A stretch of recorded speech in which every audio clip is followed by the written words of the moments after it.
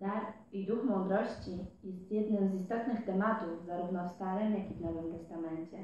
Autor Księgi Mądrości poucza nas, że dar ten trzeba wyprosić u Boga, gdyż jedynie mądrość Boża zdolna jest odróżnić prawdę, dobro i sprawiedliwość. Słowo Boże jest zawsze żywe i ostrzejsze niż wszelki miecz obusieczny, przenikające wszystko, zdolne osądzić pragnienia i myśli serca. Byłoby dla nas wielką szkodą nie słyszeć tych słów, które wzywają do odpowiedzialności za życie, albowiem każdy człowiek stanie kiedyś przed Bogiem, aby zdać rachunek z mądrości życia. Ewangelia według świętego Marka ukazuje nam dialog młodego człowieka z Chrystusem. Słyszymy w nim jedno z najważniejszych pytań egzystencjalnych.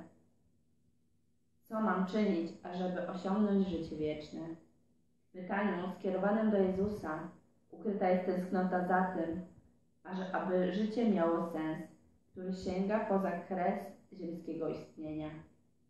Każde inne pytanie o sens i wartość naszego życia byłoby wobec Chrystusa niewystarczające i nieistotne, mówił Jan Paweł II. Człowiek stoi przed Chrystusem i każdego dnia ma dać swoją odpowiedzialność na miarę łaski, którą otrzymuje.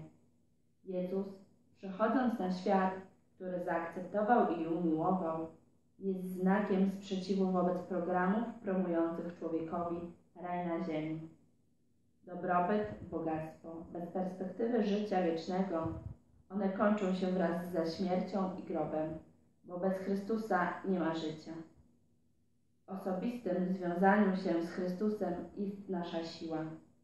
Dlatego ciągle musimy odpowiadać, opowiadać się po Jego stronie. Wiara chrześcijańska bowiem nie jest tylko zespołem norm i zasad, ale też ciągle żywym spotkaniem z Jezusem. A Chrystus idzie z każdym człowiekiem, który do Niego przychodzi ze swoją tęsknotą, za miłością, za mądrością i za dobrem.